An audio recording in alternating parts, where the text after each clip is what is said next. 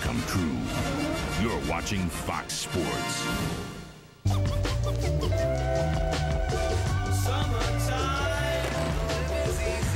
Summertime's anything but easy. Cause in the heat of summer, we're fit to hit. Baby, you just sit. Today, two first-place teams take to the Jake with bragging rights at stake. New York left Cleveland last year reeling, but this year they came back stealing. With Chucky in glove and some tall, long ball, the Pinstripers are full of pride. But don't try to bribe the first place tribe in the lethal lineup of Manny, a dandy named Sandy, and Cleveland's favorite homie, Jim Thome. The Cincinnati Reds, baseball's oldest pro team, finds itself in a youth movement as second bagger Bret Boone loves to flash the leather. But in this Texas town, the Houston rule. The Stros only know one way to play, a need for speed, backed by pure power. If you can't stand the heat, get out of our kitchen. Ooh, the endless summer is here, man, on the one and only Fox Saturday Baseball. Well, friends, today a couple of first-place teams clash in Cleveland. The Yankees and the Indians have split the first two of a weekend series. Good news for the Yankees.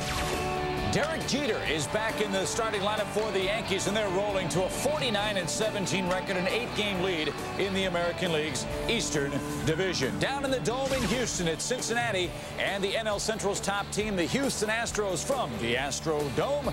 Barry Larkin, the key figure for the Cincinnati Ball Club. Will he remain a Red, though? Trade rumors swirl around him. And Scott Elarton, the rookie right-hander, makes his major league debut today. He tries to pick up the win, but it won't be easy. No Alou, no Biggio in the Astros starting lineup for today's ball game. Friends, it's the first weekend of summer, and things indeed are heating up on Fox Saturday Baseball's Game of the Week. Hello again, everybody. I'm Chip Caray. Joining me, as always, is a man from left field, and sitting on my left, not coincidentally, Steve Psycho Lyons. I like the hand gesture there, my friend. Big news yeah, out of wrong finger. Thanks a lot. Big news out of Major League Baseball, of course. The announcement of Bud Selig supposedly accepting the, the role and job as commissioner of baseball. He says it's not a done deal yet.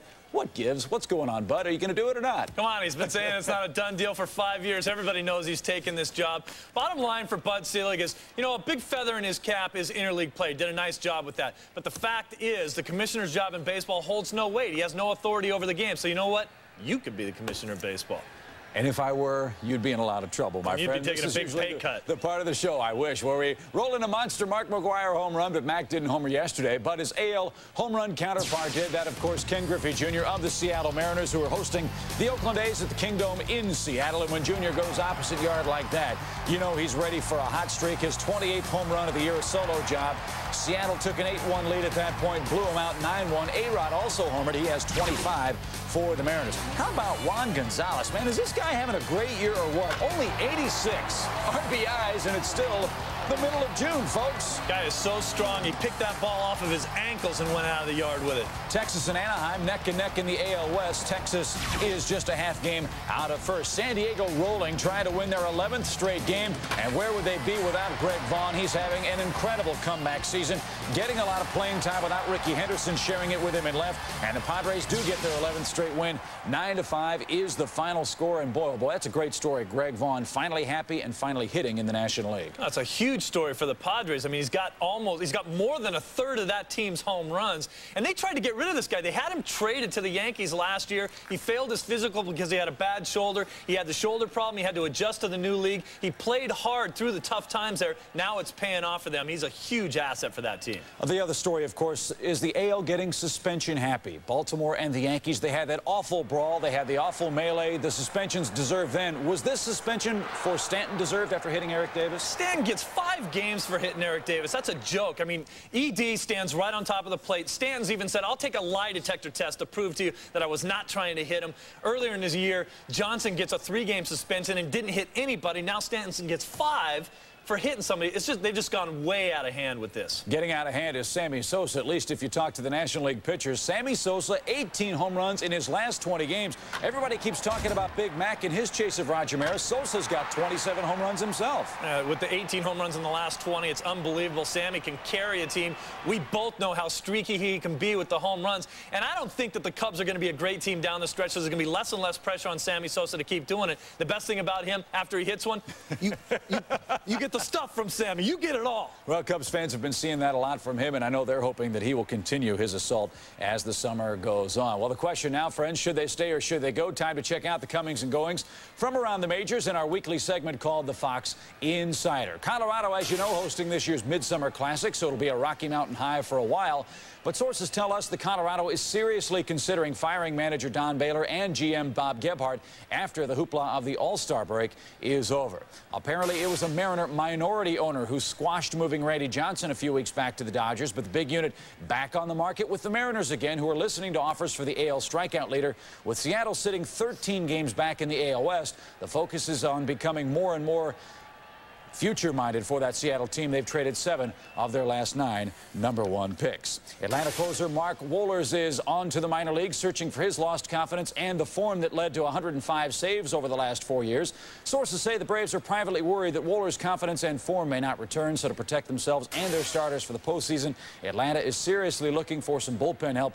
That could mean Toronto save master Randy Myers could be heading south once again to Atlanta. Steve, what gives up with the Seattle situation? First, Randy's on again, off again on the trade block. Are they going to keep him? Are they going to move him? What's the deal there? Uh, I think they want to move him again, but I think the ownership in Seattle is clueless. They must be hanging around playing too much Nintendo. This guy's a quality pitcher. Why you wouldn't want him on the team is ridiculous. Off to one of his worst starts. He's 6 and 6 right now. I think he's ready to go through one of those runs where he's going to rattle off about six or seven straight wins. I think I'd like to have him on my team when he's going to do that. He has to pitch well if he wants to get out. Yeah, no abrupt departure yet for Randy Johnson, but a man who's no stranger to abrupt departures is former Met pitcher and current Reds hurler Pete Harnisch. And this weekend's edition of Psychoanalysis. You got a chance to catch up with the right-hander for Cincinnati, who's having a great comeback. Yeah, here. this guy is, is a great story. He went through depression last year. He got traded from his hometown team, but now with the Cincinnati Reds, he's back. 1997 was a tumultuous season for Pete Harnisch. In March, he gave up chewing tobacco. Withdrawal took a physical and psychological toll. After allowing three straight home runs and an opening day loss to the Padres, Harnisch wouldn't pitch in the majors for four months. Well, it was a nightmare, but do take me back there. I mean, depression. I mean, you describe it to me because to me, depression is not just walking around all the time feeling sad. No, it's not just a totally down time. But it was, uh, it's more than that, you know. It was insomnia, anxiety, you know, some panic attacks. There's a lot of things that go with it that are, they're pretty scary stuff, and uh, it was a pretty hard time for me. What did they pinpoint? There's some family history? Oh, yeah, yeah, there's some family history. Um, there's no question that has something to do with it. And, uh, you know, I definitely think the tobacco thing was a contributing factor, solely in the fact that, uh, you know, the way it was explained to me by some physical, doc, you know, medical doctors is that, uh, you know, for 13 years I was dipping nonstop. You know, you put that much nicotine in that kind of quantity in your system all the time, your system gets used to it. It becomes part of you, you know? And then all of a sudden, boom, cold turkey, it's no more. You take it right out, and your system starts going haywire, saying, hey, what's going on? Where was that? I mean, I wasn't myself, you know? Uh, I couldn't carry on a conversation, you know? And I'm a loud guy, you know? I move around the clubhouse a lot. Pete Harnisch, my man! Where did we get this kid? I'm messing around with just about everybody. I tried to. You know, it just became, uh, yeah, I was a different person. When Harnisch returned to the Mets in late August, he was ineffective. He eventually butted heads with manager Bobby Valentine for a perceived lack of support as he battled depression. You know, on a humane level, Bobby Valentine is a, is a, is a very low-grade person. On Labor Day weekend, Harnisch was designated for assignment and then traded. Bobby and I, we didn't get along. I'm a Red now. Uh, the Met days are obviously over, and, uh, and, and I'm fine with that. You know, I'm glad to move on. Now, you know when people say Pete Harnisch, and I'm thinking this guy is a guy who, in his mind, says, I'm beating you with my fastball because I can throw it past you. Well, that's the way I like to feel when I'm out there, you know. I, I want to be a fastball pitcher. When I'm out there saying, hey, I can beat this guy with my fastball, that's when I'm pitching best. Got him! Ooh. Got him! You don't have to worry about me. I'm old-time hockey. Oh, oh, yeah! Stopped it. I like yeah. that. Yeah. That's a uh, pad save. I got to score once. Got no chance of getting it through here. Oh, jeez. Sorry. That's a bullet. Sorry. you gotta let me score once, and then we'll be done. Oh, goal. It was in. Had to go low to the glove side. Red light. Okay, that's it. That's my 1,000 career goal. Thank you very much. Yeah, I'm going to say it before you do. I stink at street hockey, too. No, no, no, no.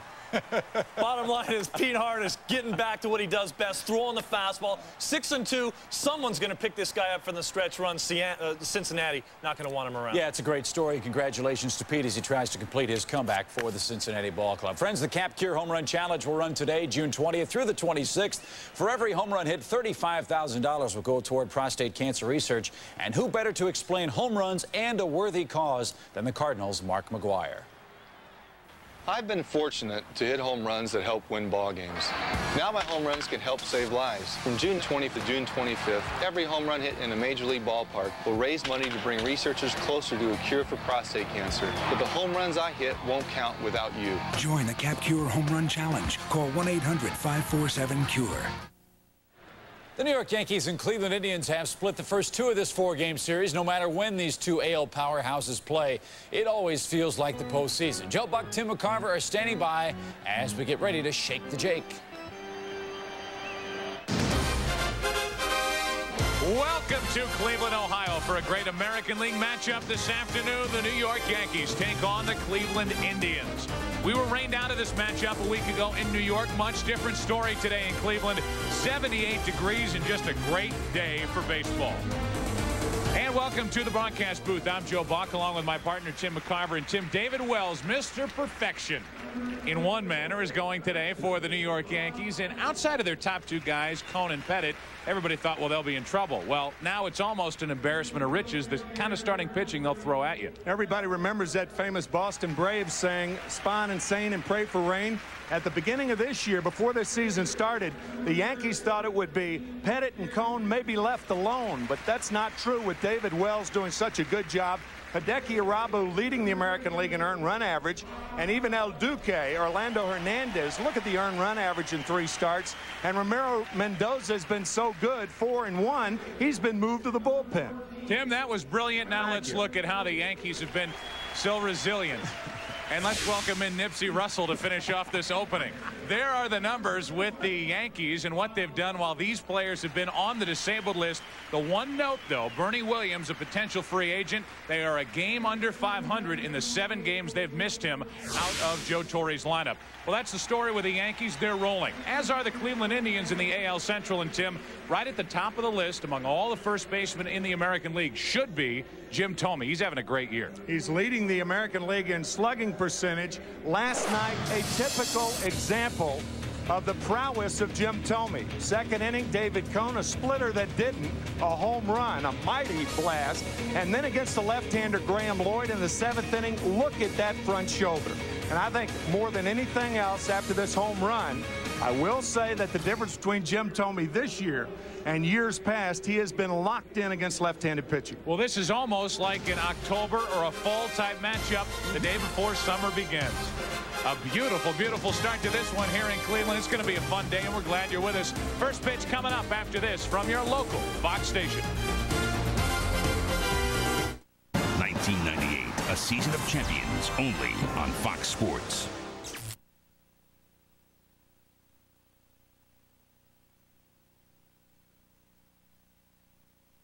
There's only days left to save big during the Great American Ford Sales Event at your Tri-State Quality Ford store. Only days left to lease an Explorer Sport for just 335 a month.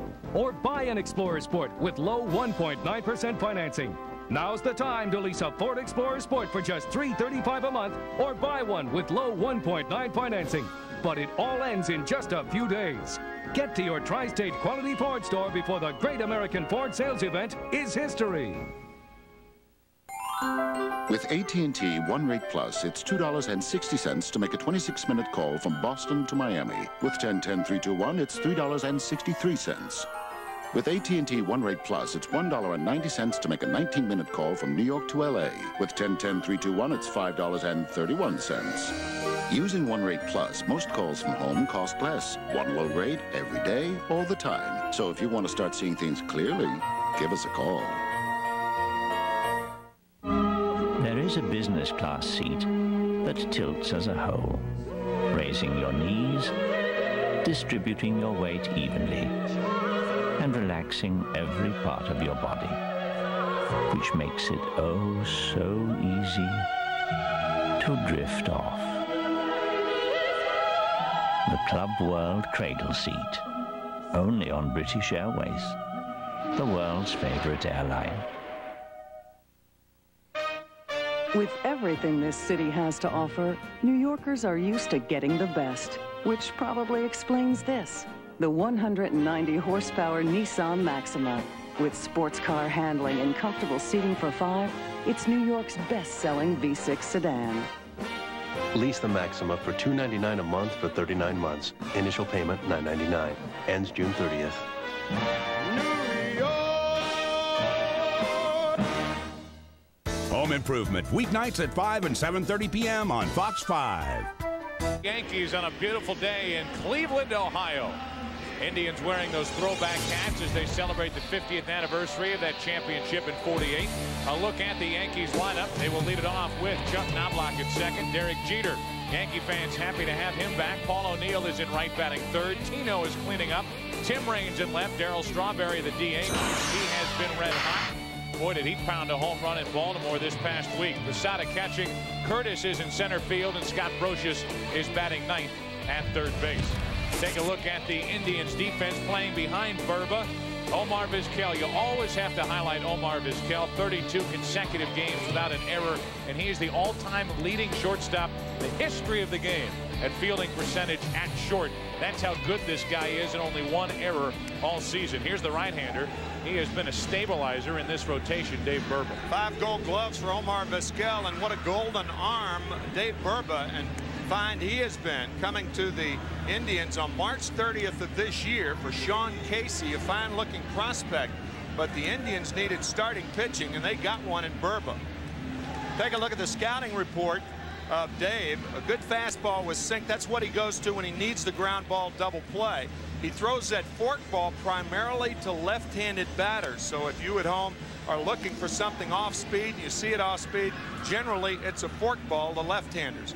And is he ever a horse? He will eat innings. As a matter of fact, that's why they got him. They thought, well, if he can pitch 220 innings like Orel Hershiser could do, Hershiser now with the with the Giants and having a good year, well, then Dave Burba should be able to do the same, and he's been a pleasant surprise for the Indians. We remind you, as always, the broadcast is also available in Spanish by utilizing the SAP button on your television.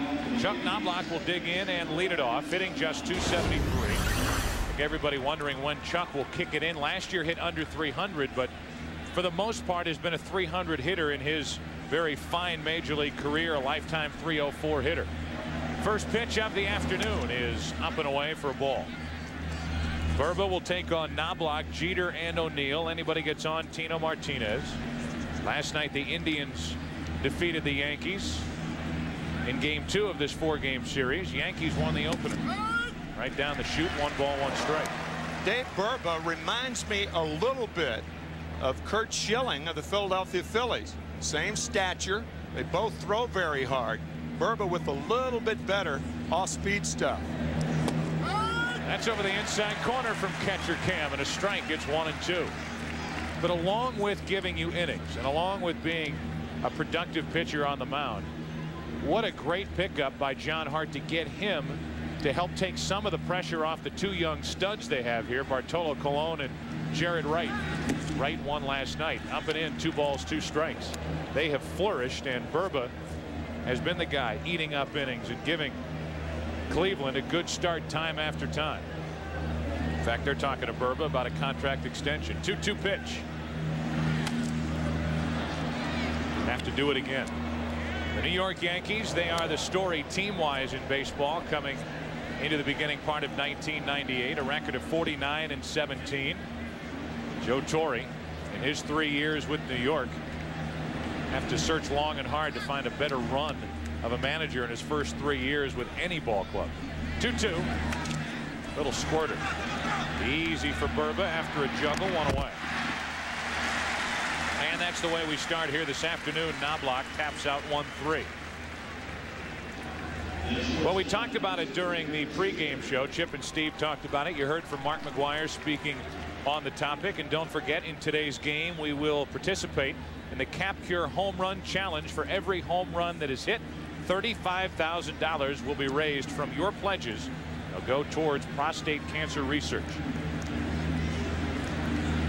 That's going on this week in Major League Baseball. With one out, nobody on, here's Derek Jeter. The ball from Burba. Yankees really struggled to find a hitter to bat in that number two spot behind Knobloch in front of O'Neill while Jeter was on the DL for that strained muscle stomach or side area. Gets to stretch it out there 2 0. Sojo predominantly played short and hit in that number two spot. And overall, the Yankees hit only 180 in this position in the lineup while Jeter was on the shelf. No stolen bases either from that two hole. This guy's a vital part of this ball club. And I think, uh, you know, the Yankees famous for the captains, Pee Wee Reese. Pee Wee Reese, that was the Brooklyn Dodgers. Phil Rizzuto, the captain back in the early 50s. Thurman Munson, Graig Nettles, this fastball high, and Jeter holds up. I think this guy will be the next Yankee captain. Three balls and a strike. Mattingly was on that list. Yep, right. And now Jeter just gets better each year. And on three and one, a broken bat grounder to Vizquel. He knows what to do with it. Pretty close, two out.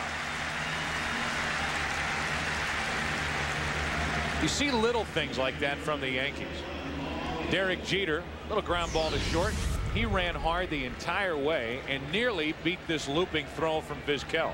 And you, it's a shame you don't see more major leaguers running hard 90 feet four times a game. Used to be you could take money out of their pocket. Can't find them that much nowadays. Doesn't make a dent. They don't like money being taken out of their pocket either. Mm -mm. Up and away, ball one to O'Neill. A lot of people who played this game in the golden era, if you want to call it that, 50s and 60s, that I've talked to, say when healthy, the easiest thing to do in this game is to run.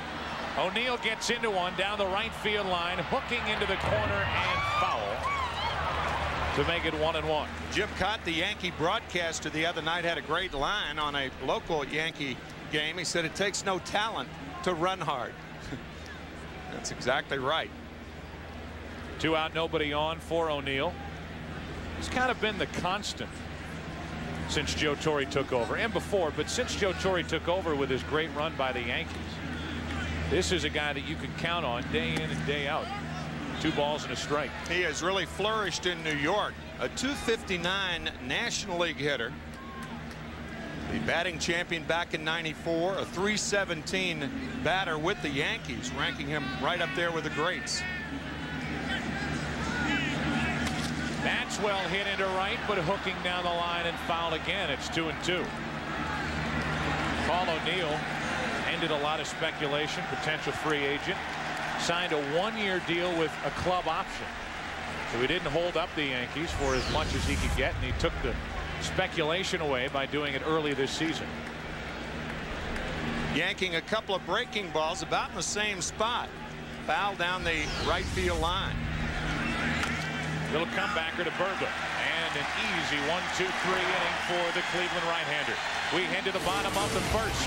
Indians looking at this series as a gauge for how they are as a team. One half inning, no score. It's a revolution in car wax. New Bullet Wax from Prestone. The first high-gloss car wax in a pre-filled applicator. For more coverage with less effort and a showroom shine in half the time. New Prestone Bullet Wax. Nothing outshines a speeding bullet. Get ready to get creative. Get into a Rebel G. Go beyond snapshots. Experience the ultimate rush. Cool. Rebel G and only EOS lenses from Canon. Do you like legs? Well, here's an attractive set. All you can eat snow crab legs at Red Lobster for only $13.99. Bottomless buckets of meaty, succulent snow crab legs. All you can eat at a price you can't resist. So shake a leg. And hurry in for all you can eat snow crab legs. At Red Lobster, because life on land is dry. People smile and tell me I'm the lucky one. And we've just begun. Think I'm gonna have a son. And in the morning when I rise, you bring a tear of joy to my eyes and tell me everything's gonna be alright. Aflac, insuring over 40 million people worldwide. David Wells is already becoming untucked as he gets ready to take on the Indians here this afternoon. And we look at the MCI starting lineup for Cleveland. Mike Hargrove has Kenny Lofton in that leadoff spot game after game with Vizquel batting second and short. Manny Ramirez in right field with Jim Thome cleaning, cleaning up. And what a start it's been for Jim Thome and what a career here at Jacobs Field. 70 home runs hit as an Indian here at home. Sandy Alomar, the catcher. David Justice in left field. Fryman at third. Geronimo Berroa has been starting at DH, and they'll get a look at him over the next week or so. And David Bell is batting ninth at second base. How about the Yankee defense playing behind David Wells? Well, they have uh, Jeter back at short, missing 12 games with a strained abdominal muscle. They have Curtis in center as they try to fill in for Bernie Williams, and it's going to be interesting to watch how the Yankees play up through the All-Star break without Bernie Williams. We'll talk more about that. Let's talk more now about David Wells. Well, David Wells, the last uh, performance he had in this ballpark was game three of the division series last year. He pitched nine innings, a complete game victory. That was the game in which Paul O'Neill hit the grand slam home run off Chad Ogea David Wells, the one problem that he has, it's very unusual. He has tough time with left-handed batters. Matter of fact, left-handers this year hitting 319 against David. And that's why the Cleveland Indians have stocked the lineup with three left-handers. Lofton has always been good against left-handed pitching as he leads it off and takes a fastball up and in. Lofton hitting 289 but 520 over his last six games. He's picked it up after a slow start. That's backing out of play one and one. That will be the area that Lofton and all the left-handers in the Cleveland lineup will see the ball. The one thing Wells cannot do is run the ball in here. What he will do, he'll run the ball away from left-handers all afternoon. He does not have that tailing fastball to keep him from diving out over the plate. Hanging curve, baby. and head high to Lofton for ball two, two and one. I guess any time a Yankee pitcher, an Oriole pitcher these days throws one inside, you you think twice. Yeah, it's kind of getting to be a joke. I mean, anytime you come inside, and I know you're obviously referring to Mike Stanton, his five-day suspension for hitting Eric Davis on Monday evening in Baltimore. Wells falls behind three and one, and you don't want to put Lofton on base. He's running this year. He didn't do a lot of running last year while with Atlanta. He stole only 27 bases. He's already swiped 22. That caught the corner three and two. That's the one thing the American League pitchers do not want to see is a guy like Kenny Lofton get hot. He's hit 354 in June. Omar Vizquel on deck. Into left center field. Slicing to Tim Raines in left. And Lofton is gone to start the afternoon offensively for the Indians. We mentioned that David Wells does not run the ball in on left-handed batters, but that's about the only thing he doesn't do. He is a quality starting pitcher. He can control both sides of the plate with two types of fastballs. That's to right-handed batters. Throws a curveball and a good changeup, primarily to right-handers. Can be wild in the strike zone. That that means throwing too many fat strikes and not on the corners. Over the outside corner for a strike to Vizquel. Omar hitting in that number two spot, batting 298. Another point about Wells is he almost gives the appearance like he just hopped out of a donut shop and hopped onto the mound to pitch. But this guy is a good athlete. So did Mickey Lolich of the Detroit Tigers. Wells reminds me a lot of, of Lolich, as a matter of fact. When I said earlier he's becoming untucked, that's something he fights during an entire game. His shirt and tail always coming out or beginning to as he's working on the mound. So every half inning he goes into the clubhouse, which he did during his perfect game on May 17th. Every half inning he was back in the Yankee clubhouse, he retucks. And then goes back out to the dugout for the final out, heads back to work. A ball and two strikes on Vizquel.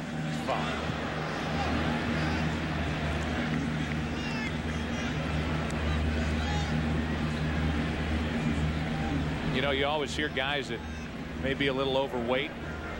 Case with David Wells, and that's always something that they're going to hear about throughout their entire career.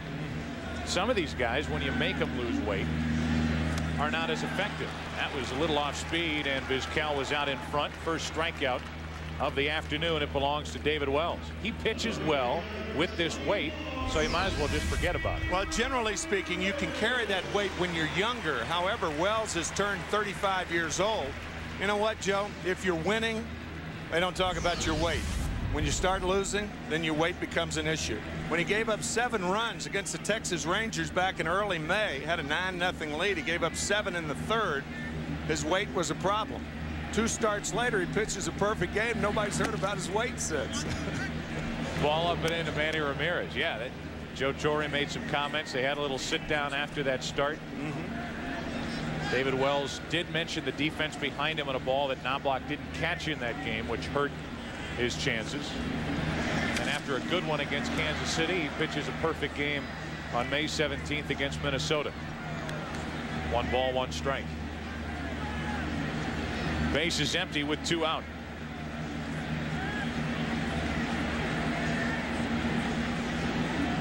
Tucking. Tucking, pulling, fidgeting. The ball and a strike on Manny Ramirez. There's a good pitch down and in. Strike two. Manny Ramirez is a good low ball hitter. As a matter of fact, that ball was in an area that he usually handles well, that ball down and in. However, that ball had some nasty bite on it. The action of the pitch over the plate depends on whether it's a hanger or not. If the action stops, it hangs. That's to the right side and out of play. It stays one and two on Ramirez. Well, we keep talking about it. Let's show it to you. May 17, 1998. Pat Meares, two out, nobody on the night. This little fly ball, which took an eternity to fall into the glove of Paul O'Neill, caught for the perfect game and the first regular season perfect game in Yankee history, second overall. Base is empty with two out, and Ramirez took a ball two and two. Do you want to mention Point Loma High School, or should I? Why don't you? Talking about Larsen? Yeah. Don Larsen went to Point Loma High School. Here's that one-two pitch. It was called a ball by the home plate umpire Rick Reed. Very close. Wells went to Point Loma High School. Mm -hmm. Yep. Right. Good point. Thank you. Two-two. Do it again. Well, we've already spoiled the surprise with who's umpiring behind home plate. It's Rick Reed, so we'll tell you the rest. Marty Foster at first. Tim Tschida was uh, a source of controversy here in the first game of this four-game series at second, and John Shulock at third. Berroa has still got some left over from his days as an Oriole. We'll see him later. He's batting eighth.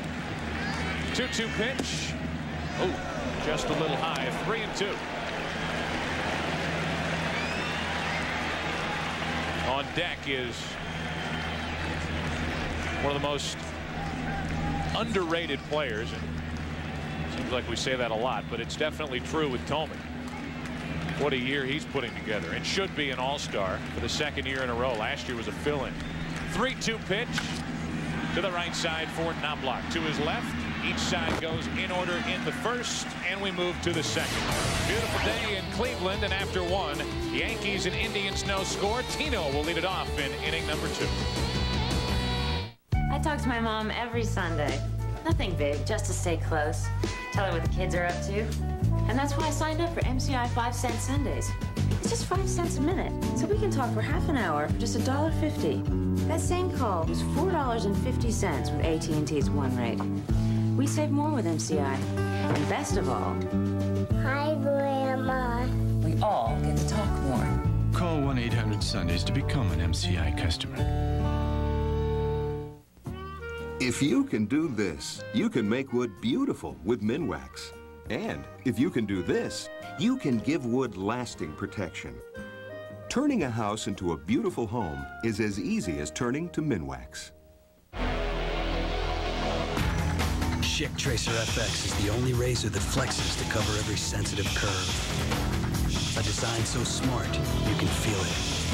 Schick, the feel of smart design. Let me tell you something about heroes. They ain't like you and me. Look at Griffey. The way he taps the spikes and grows the tee, punches the glove and flips the lid, signs the hat, eats the dirt, and twirls the lumber, warms it up and works the crowd. The way he holds the pose, slams the wall, anticipates, anticipates, anticipates, and always thanks his mother. Let me tell you about guys like him. They ain't just playing stick.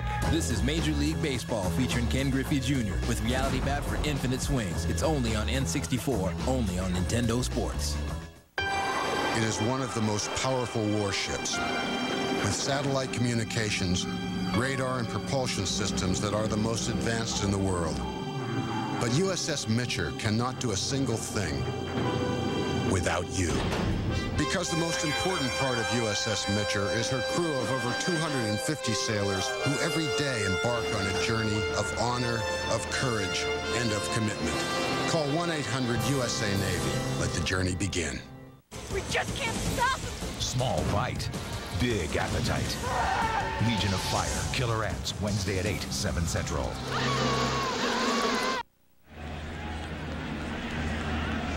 Dave Burba goes back to work. He served up three ground ball outs in the first inning. He will work to Tino Martinez, who's since being drilled by Armando Benitez in the back.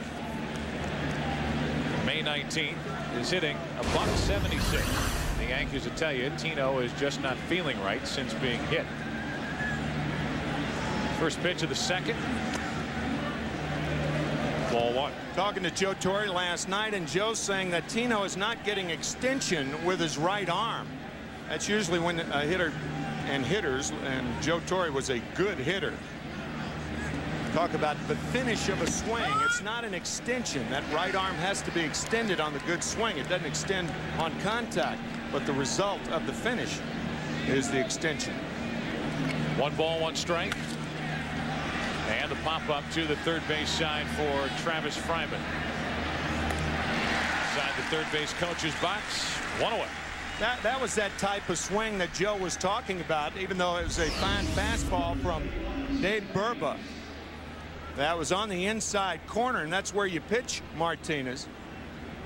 But Tino usually can hit that. But see, there's no extension on that right arm right there. Certainly on contact. But he is uh, he is not the same hitter that he was uh, when the season started. We will give you this at bat by Tim Raines, who is hitting 294 from Sandy Alomar Jr.'s perspective from catcher camp. How would you pitch to Tim Raines? Well, they'll start him over the outside corner for strike one. The numbers for Raines, one of many Joe Torre can choose from when filling out his lineup card, even with the injury to Bernie Williams. Set up inside and missed inside one and one.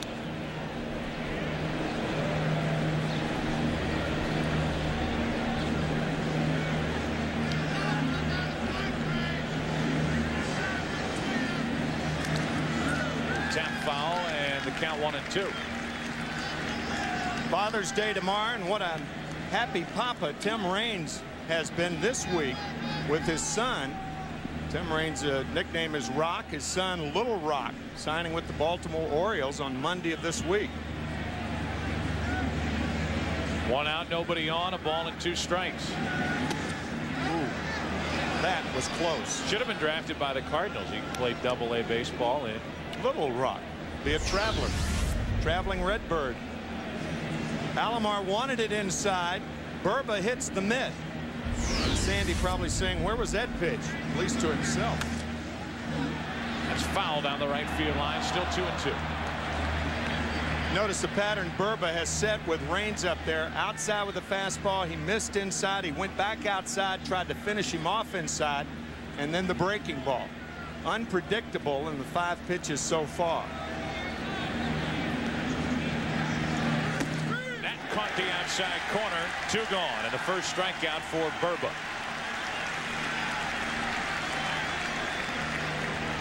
That's just a guy doing a superb job against a guy who can still swing the bat. Look at Sandy Alomar sitting outside and watch the pitch. Moved outside a little bit. That ball was one of those pitches that probably caught the front corner. Yep, little Taylor. Taylor made for Burba. And with two out, nobody on, here's Strawberry. That's over the inside corner. How do you pitch Darryl Strawberry? Everybody's talking about the power. Everybody's talking about the home run he hit the other night in Baltimore. He seems to have found that power again. How do you get this guy out? You don't throw him anything down in the strike zone. He can rake that low pitch and always has been able to. Because of that curl, it takes him so long to get his bat hitting area. That's the ideal place to pitch it, right on the hands. That's where major league hit pitchers will jam major league hitters right in that area right in here. And now the one-two to Strawberry. Two balls, two strikes. Darryl's hit 10 home runs. That ties him with the injured Bernie Williams for the club lead. Tino's also hit 10. That missed. And the count three and two.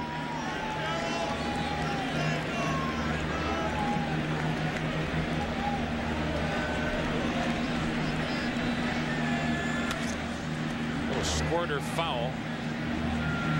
Still three and two. Well, we talked about what happened. Strawzilla in Baltimore into dead center field off Mussina. And this hit up off the scoreboard and then fell down into the hitter's background at Camden Yards. That missed inside barely and a two out walk gives us the first base runner of the afternoon. It is Strawberry for the Yankees and the top of the second continues. You notice uh, Dave Burba, what he tried to do was stay out of that down zone. That ball right down the pipe. And then he misses away with the breaking ball. Right on the inside corner. But notice how the elevation of the pitch is up more than down. And after Strawberry is fisted right here, he misses inside. He may throw it downstairs, but not intentionally to a guy with the power of Strawberry. Now Posada takes inside. Jorge Posada's hit eight home runs and is the better hitting catcher of the two that Joe Torre can write down on his lineup card. And the better thrower, too. But Girardi means so much behind the plate working with very good Yankee pitching staff that they split up a lot of the duty. Remember when Girardi first got to New York a couple of years ago, Yankees had let Stanley leave. Girardi had to fill in, take his spot. What did Girardi fill in perfectly as the Yankees went on to win the World Series in 1996. Nobody could understand the deal that Bob Watson and Joe Torre made initially.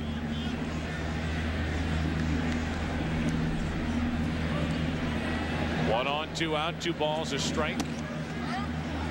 Now three and one on Posada. Same thing happened at first base that year with Tino Martinez.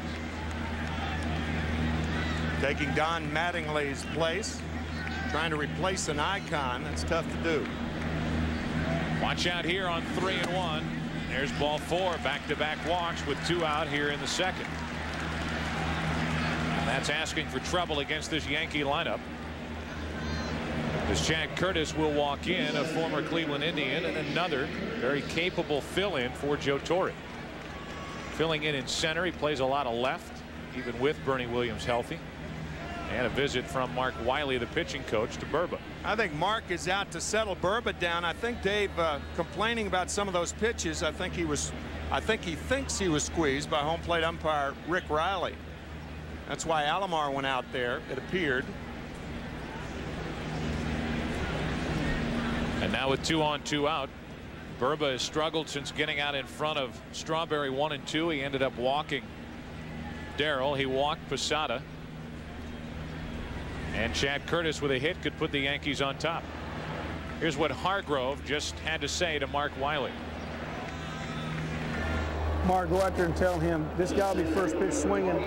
He'll be first pitch swinging because he knows he's he knows that we don't want to walk another guy. Tell him to be careful. And the first pitch, a check swing on a pitch low and away, ball one. Interesting point. from Mike Hargrove, the Indians manager. And he's right in assuming that once you walk a couple of guys, especially on close pitches, you have a tendency to throw the ball in the fat part of the strike zone early in the count to the next guy. That's why Wiley went out there. And a lot of the times after a visit from a pitching coach, the next pitch is usually a fastball. And usually a strike. And usually a strike. Mm -hmm. Two on, two out, one ball, one strike on Chad Curtis. Back-to-back -back walks after the first two were retired by Burba. That's a little up and in, two and one. And Burba, I think, to underline what you said earlier, definitely feels like he's getting squeezed here in the second by Rick Reed.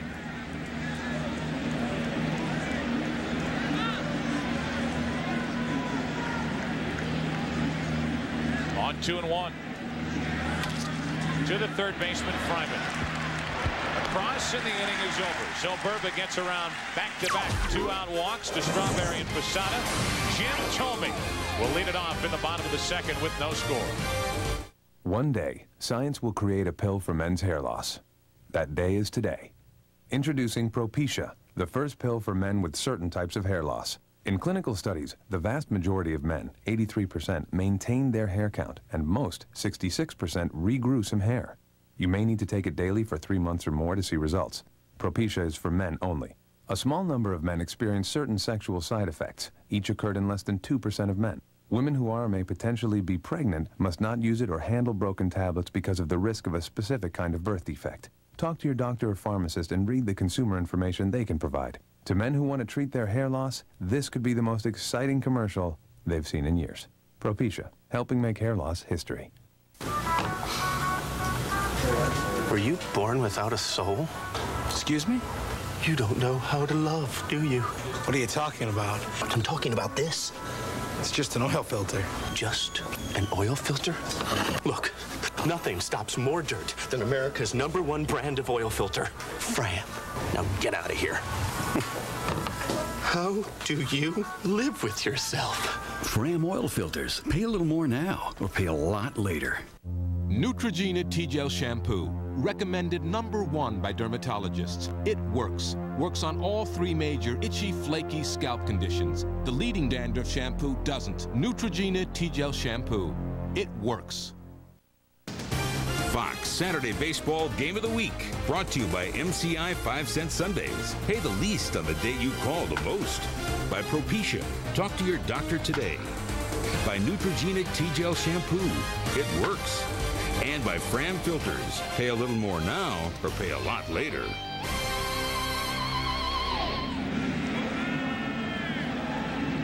Welcome back to Jacobs Field here in Cleveland, Ohio. They're packed in as usual, and why not? Good four-game series this weekend with the New York Yankees. Jim Thome will lead off. We've already talked about Thome and the slugging percentage and the numbers in the top 10 and the top three hitting categories in the American League with what he's doing.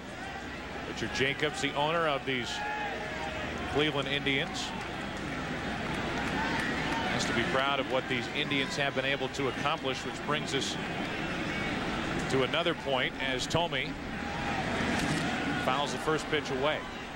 A manager in baseball that gets seemingly absolutely no credit for the job that he's done is in the Indians dugout, and that's Mike Hargrove. Nobody talks about the job he's done with Cleveland, and it has been nothing short of remarkable. I could not agree with you more. I mean, last August, they were talking about Mike getting fired. That was the middle of August of last year, and all he has done has seen his Indians, along with John Hart, the general manager on the left, seen his Indians win the American League pennant in 1995. They lost to Atlanta in six games. And they win the American League pennant last year and then lose to Florida in seven games. And in 95, it was not an easy task to get this Cleveland Indians club all pulling in the same direction. I mean, he had Albert Belle, who right, was a distraction time and time again. It, he has done a remarkable job and gets zero mention around the big leagues as far as the best managers. We always talk about Joe Torre. It's time to start talking about Mike Hargrove longest tenure, and right now the third winningest manager in Indians history.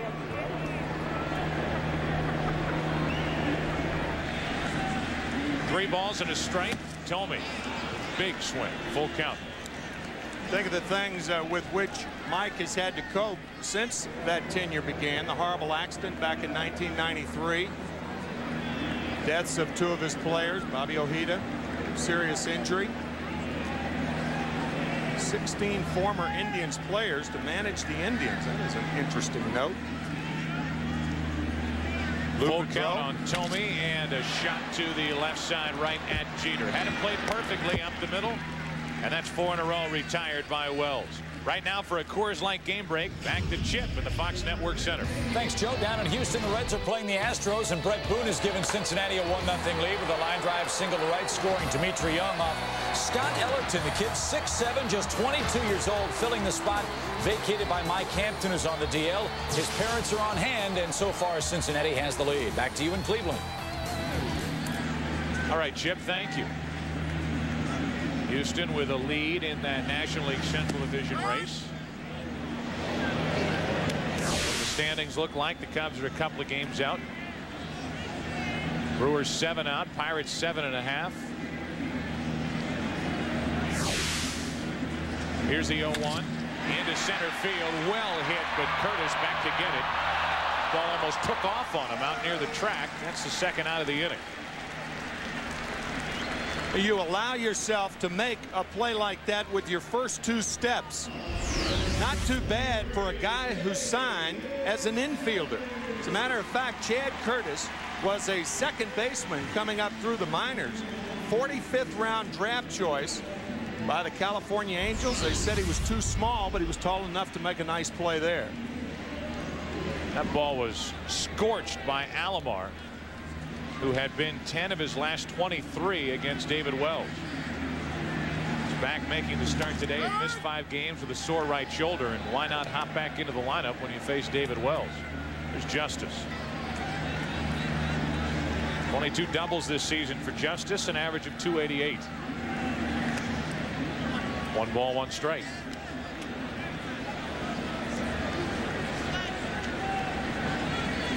David's had a shoulder injury here with Cleveland. He's had a knee injury. One ball, one strike. Over the outside corner. He's been bounced around the lineup a little bit lately. Today is hitting in the number six spot. Had that hyperextended elbow.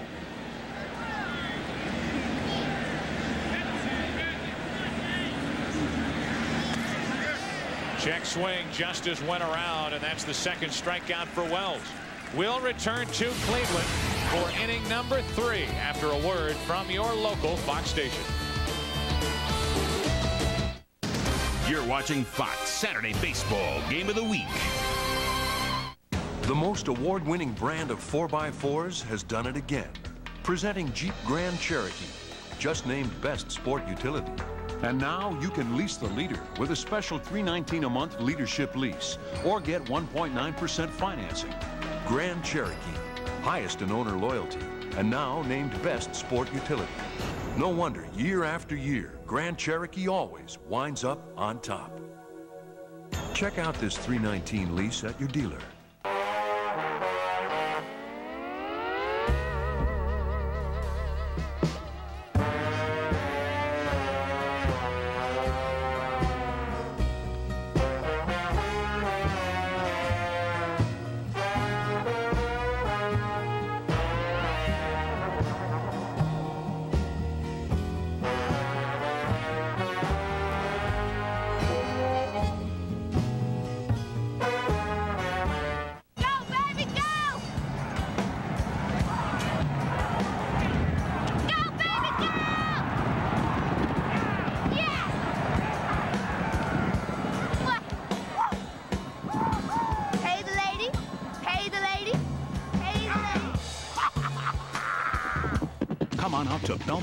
For the most exciting ride in sports. Racing Wednesday through Sunday, post time 1 p.m. The New York Racing Association at Belmont Park.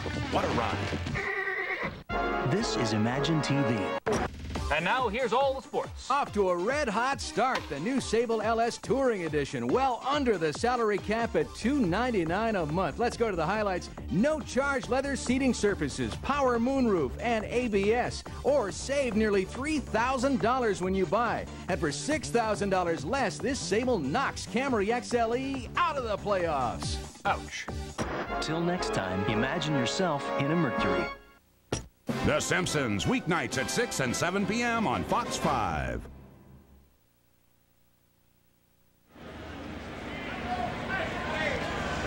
Yankees will bat in the third inning with no score. Joe Torre and the Yankees off to a 49 and 17 start. And you wonder where that will lead here in 1998. Look at the Yankees' best starts through 66 games. History would tell you good things are to come for the Yankees in October. Liable to see both these teams, as a matter of fact, battling it out for the American League Championship. I think right now they're the two best teams in the American League. Brosius takes a ball and we're underway in the third. Burba got around back-to-back -back walks in the second, getting Curtis on a ground ball to third. Right now the Yankees are playing 742 baseball on a pace to win 120 games. The last team in the big leagues play 700 baseball, the 1954 Cleveland Indians. Pennant winning Cleveland Indians. They won 111 games that season. Brosius flies to center. Number nine hitter is gone, and Burba will face the top of the New York lineup. Tonight on FX, it's a battle of AL Eastern Division foes as Jose Canseco, Mr. 2020, and the Toronto Blue Jays head to Baltimore to take on Cal Ripken and the Orioles. Coverage begins at 7 Eastern, 4 Pacific. Check your local cable listings for the start time in your area on FX. How about Canseco? 20 home year. runs, 20 yep. stolen bases. I think the stolen bases the big surprise with Jose this year. Knobloch takes a strike. Joe, you talked about that year 1954 when the Indians uh, won 111 games. The Yankees that year finished eight games behind the Indians and won 103. Into center, sinking in a hurry, and that is the first hit of the afternoon for the Yankees. It belongs to Knobloch. Can you imagine that? Winning 103 ball games and you finish eight games out of first place. Amazing. Amazing. Bobby Avila, the second baseman, who was the who led the American League in batting that year. I think he batted 342. But this, by the way, to the day is the 50th anniversary that the city of Cleveland drew the biggest crowd ever in Major League Baseball. Over 82,000 saw the Indians sweep the Philadelphia Athletics at Municipal Stadium 50 years ago today. One on, one out. Jeter out in front. That was a pretty good year. 1948 for the city of Cleveland. As they celebrated their last World Championship in baseball. In their second, they had won in 20. And there's the note. Nearly 83,000 filled Municipal Stadium to watch that ball game. One on, one out here in the 0-1 pitch. To third and foul. Just foul. And back to the plate. Jeter with an 0-2 count. But that year in 1948, the Indians won 20 of their last 25 games to force a playoff for the Red Sox. So they not only took care of Boston there, they ended up defeating the Boston Braves in the World Series. One on, one out, nothing in two the count on Jeter, who tapped out to short his first time up.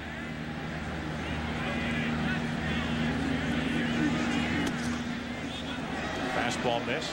Talk about finishing second. The Boston Red Sox did it two years in a row. They had the playoff against the Indians in 1948. And then in 1949, they lost uh, that famous book by David Halberstam, The Summer of 49. Jerry Coleman with the base hit on the last day of the season, and the Yankees won it last day. Indians thinking Knobloch might take off. The pitch out makes it two and two. Chuck has stolen 19, but caught seven times. Well, that championship year of 1948 is very much an emotional part of this city of Cleveland. And they honored one of their heroes, Bob Lemon, today before the game as they retired as number 21. There goes Knobloch. Good pitch to handle. Chuck is gone. Two out. All things considered, the most important thing that determines whether a catcher throws out a base runner or not is what kind of pitch he has to handle. This ball right around the shoulders of Alomar and a quick tag by David Bell. Nice play by Alomar and Bell. And with two out, nobody on, Jeter strikes out. Second strikeout for Burba. We sail into the bottom of the third here at Jacobs Field. Yankees and Indians no score. Gary Sheffield, outstanding bat speed. Pull the ball with the best of them. The secret to MLB 99's realism? Scouting reports straight from the pros. Favorite cheese Gouda. Bobby Bonilla, weakness for fastballs in the dirt. Has a dog named Snacks. that's impressive. I knew that. You drive a 71 Nova, make 22000 a year, and you were a bedwetter.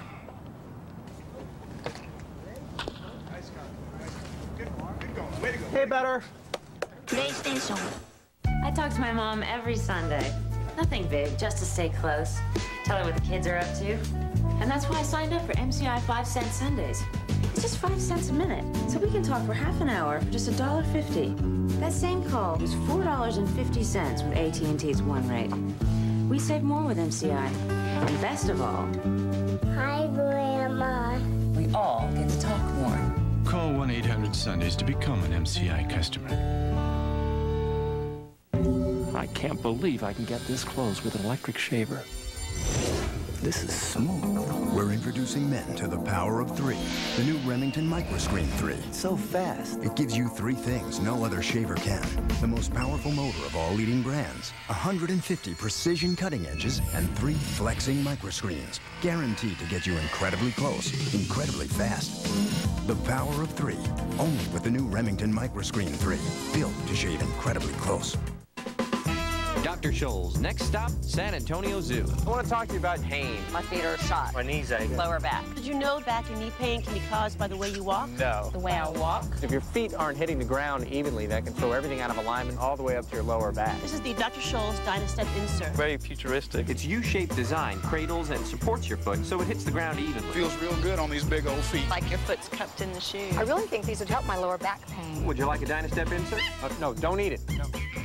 The Yankees take on the Mets, or the Rangers battle the Giants in an interleague showdown. Fox Saturday baseball game of the week, 12:30 Eastern and Pacific. David Wells back to work. He has faced six and retired six. Third inning, Travis Fryman, Geronimo Berroa, and David Bell will bat for the Indians with no score. Yankees have the game's only hit. Fryman walks in hitting 257 for the year. 318 over his last 33 games. When we look at his outfield hits by direction. He is a pull hitter. He was in Detroit and he's here. He is here in Cleveland particularly here with that short porch 325 down the left field line. First pitch of the bottom of the third. Big breaking ball from Wells ball one Travis Fryman and David Wells teammates with the Detroit Tigers several years under Sparky Anderson. To the left side Jeter in the hole sets guns it too high and into the photographer's well. That'll send Fryman down to second with nobody out. A hit E6.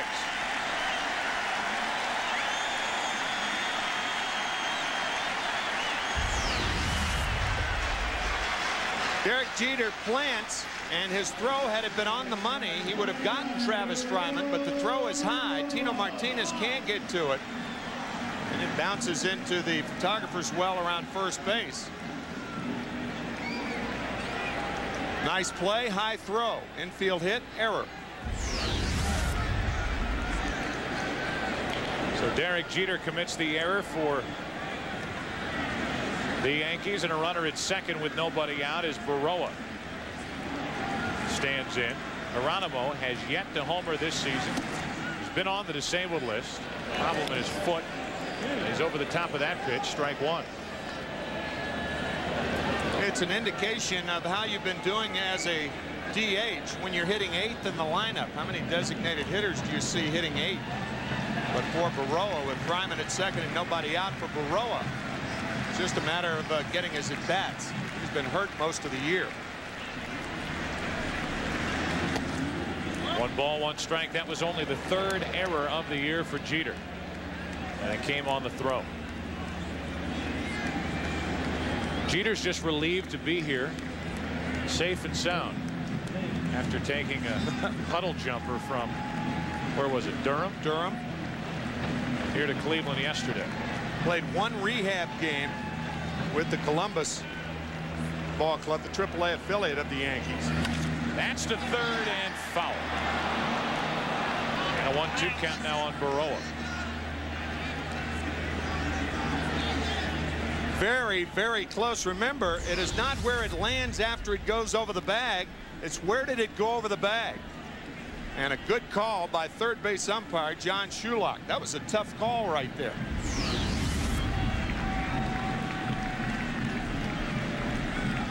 John looking very relaxed as he made that call. Yet a tester for a third base umpire. Nobody out. A ball and two strikes on Berroa, who, well, if you're going to play good baseball at this point, trying to get the runner over to third. Nah, forget it. I don't think Berroa's even thinking about that. Right now, he's a pull hitter, especially against a left-hander. Well, if you got a DH hitting 213 with no home runs Mm-hmm. and three RBIs, you better do something. I think it's more of a style.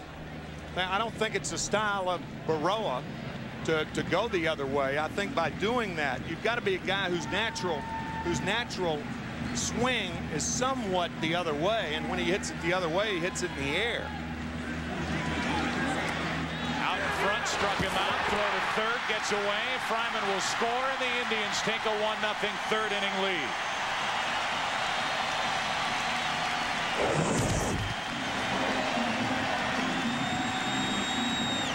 Two errors in the inning for the Yankees, he, who came into this game with only 39 on the season.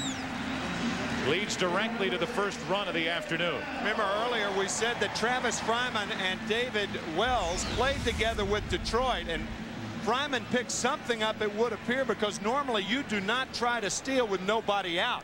Of course Berroa makes the third out. Posada's throw is high and disappointing. Now with one out nobody on a run in David Bell stands in trying to hold up couldn't. It's a stolen base and an error on Posada. And for Posada, that is error number one. The reason you don't try to steal with nobody out is you try not to make the first out at third base. He may have picked up the sign, the slower curveball, a good pitch on which to run. He had a huge jump at second base. One ball, one strike now on David Bell. Talked about this earlier. Two catchers for Joe Torre. Girardi on your left, Posada in the game. One ball, one strike, and Bell grounds to short. Nice easy hop for Jeter. Two out.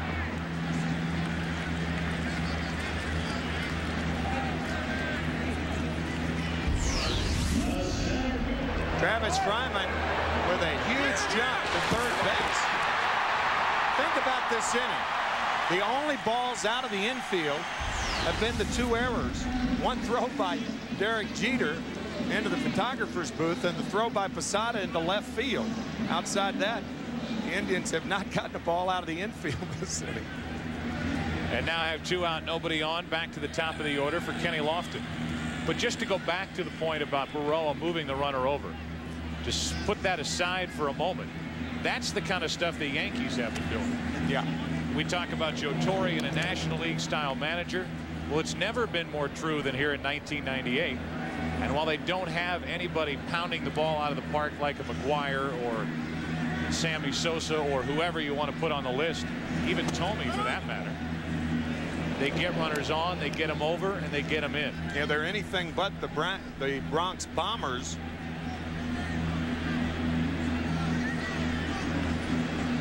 Two out, nobody on, and Lofton a check swing double.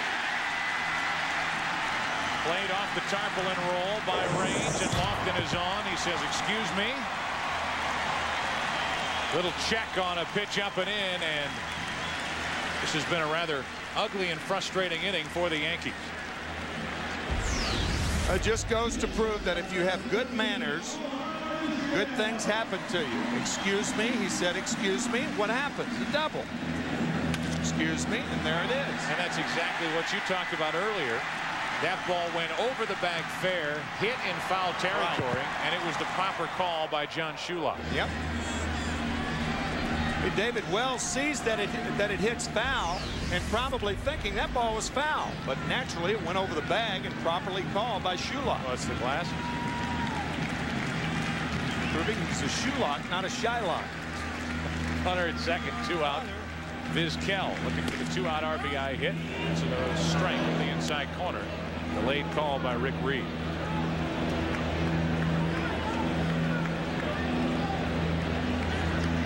Omar is driven in 26, has not gone deep this season. Two hits, two errors, a stolen base in the inning.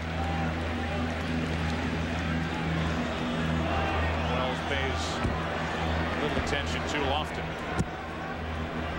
With two out, you wouldn't expect him to run, but you never know with Kenny Lofton. Stolen 22.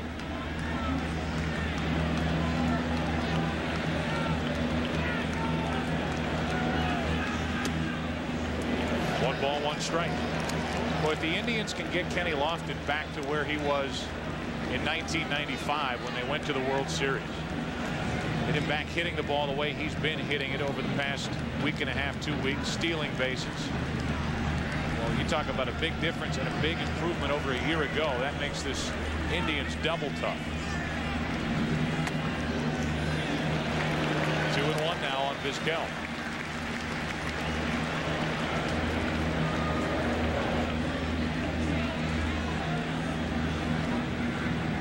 Table setter on base. You've got Thome having his best start offensively. Manny Ramirez hitting in that number three spot. Runner at second, two out, two balls and a strike. To the right side, Knoblauch knocks it down and can't get the out. Runners end up at first and third with two out on what will likely be a base hit. Would think so. If this ball is a short hop, you can see Knoblauch really paying too much attention to Lofton with two outs more inclined to play into the position. But that was an in-between hop. It should be a base hit, and it is. So that's three hits in the inning, two errors. The Indians lead by one and have first and third with two out for Manny Ramirez and a visit from Mel Stottlemyre. Runners on, Lofton and Vizquel. Yeah, I, what I think they're talking about now more than uh, what's wrong with David Wells. I mean, this has uh, been a poor defensive inning. Otherwise, Wells is out of it.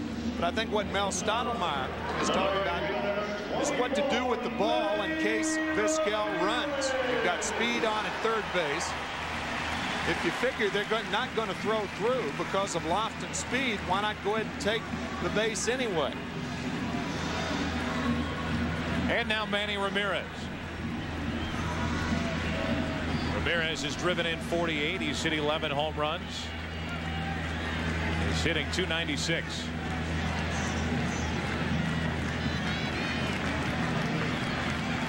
By the way, it's now an earned run here in this third inning against Wells after that Lofton double.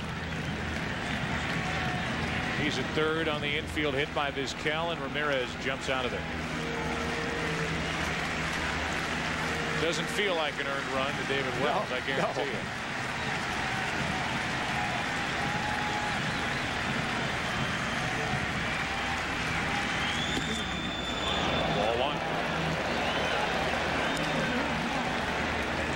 Good numbers for Ramirez against Wells.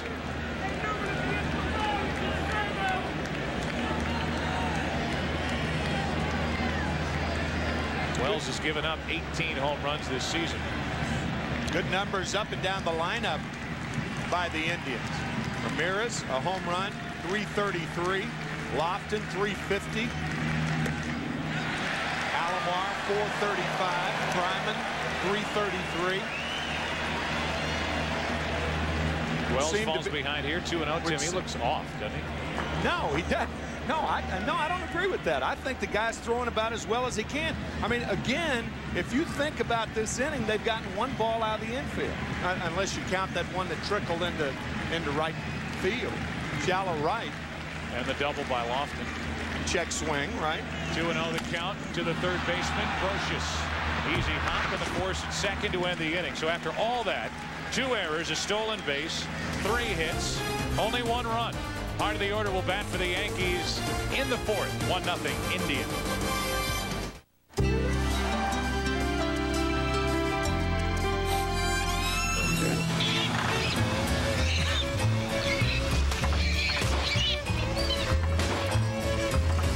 Oh, great, great. That tune-up.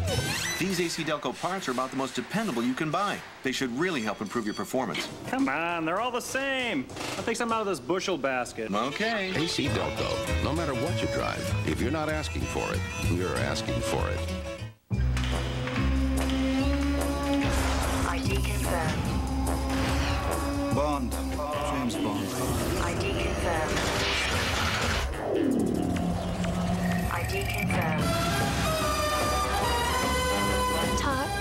Check. Absolutely, James. Just need some ID. Really, 007, you should use a Visa check card. It automatically deducts from your checking account everywhere Visa's accepted. See Tomorrow Never Dies.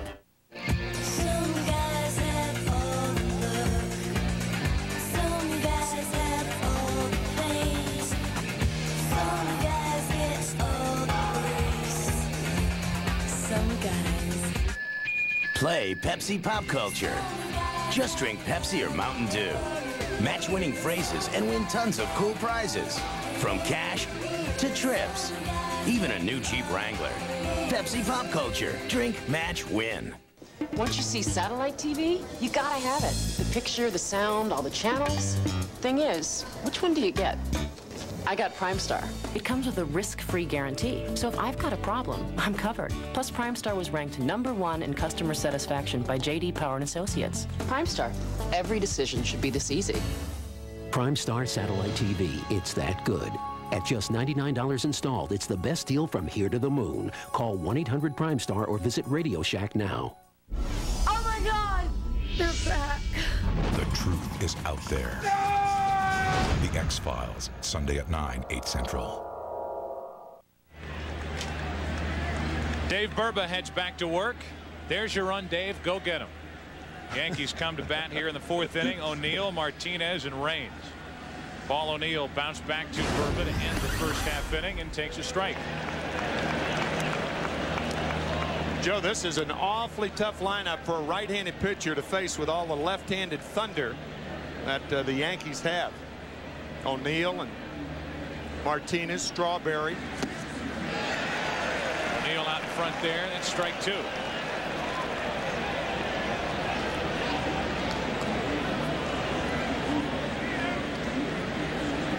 Paul O'Neill came in ninth in the league, hitting 323. 322 after grounding out his first time, and a flare into left center field will fall for a hit. Off the hands into left center field, and O'Neill is on to start the fourth inning for New York. Right now for a Coors Light game break. Back to Chip in the Fox Network Center. Joe and Tim, thanks a lot. The Astros are at it again down at the Dome. Jeff Bagwell just connected off Brett Tomko, a three-run homer, his 12th of the year. 36 RBIs on the season. Barry Larkin is just homered for Cincinnati, so two $35,000 donations to Cap Cure in their fight against prostate cancer. Back to you. Thank you, Chip. Here is Tino. Takes a pitch up and in. Here's that base hit by O'Neill from catcher cam. Catcher Cam sitting right in the kitchen, and that's where Burba threw it. Fisted the left by O'Neill.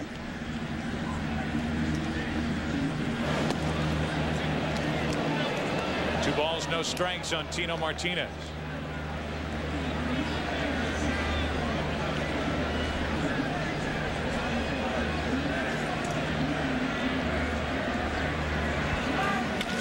To the first base bag, off the bag, and down the right field line. O'Neill will head to third. Ramirez fumbles with it in the right field corner. Play at the plate coming. Safe is O'Neill, and we're tied 1-1. A bobble by Ramirez out in right field just a little.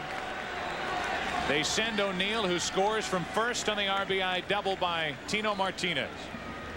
See if an error is given on that play. It really should been should have been an error on Manny Ramirez in left field. Willie Randolph making sure with nobody out, especially with Raines coming up. This ball hammered down the first base line. Dave Burba missing the target by about nine inches there. There's no error on the play. O'Neill scoring to throw up the third baseline, but you've really got to be sure with nobody out. Now runner at second, still nobody out, and Tim Raines takes the ball up and in.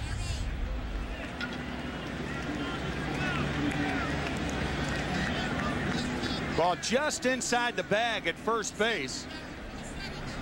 And Ramirez, you can understand his uh, plight. That ball caroming off the wall in a hurry. Just a momentary bobble, no error on the play. So it's an RBI double for Tino Martinez. It's RBI number 51. And Raines, who's driven in 21, could give the Yankees the lead with a hit. Martinez at second with nobody out.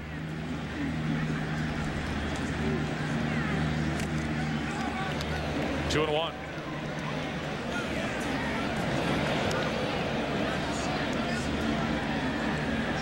Raines a strikeout victim his first time up.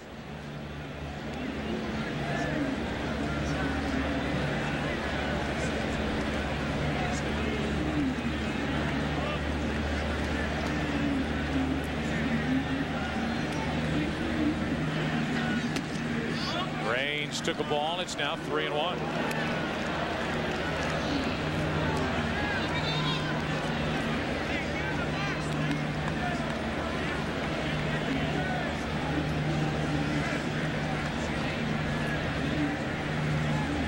Raines on three and one. Took a strike. Home plate umpire Rick Reed brings Raines back to the plate. It's three and two. You can see Alomar setting up late. That's because the runner is on at second base. Earlier in the game, nobody on. Sandy just setting up early in the count. But with a man on at second, he sets up very late. Watch the sign being given. Now he sets up. And up the middle, that'll advance the runner. Bell makes the play. Good play by David Bell as he had to wait on it, throw flat-footed. Over to third goes Martinez with one out. Reason for that, he thought that Burba was going to make a play. And as you said, Joe, he did throw flat-footed to just get Tim Raines. Raines can still run. And Tim advances the runner to third, something we talked about earlier. And now Tino Martinez at third, one out. And the infield will come in. Dangerous prospect with him at the plate. That's well hit into right at the wall and off the glove of Ramirez. In to score is Martinez on a double by Strawberry. And it's 2-1 New York here in the fourth.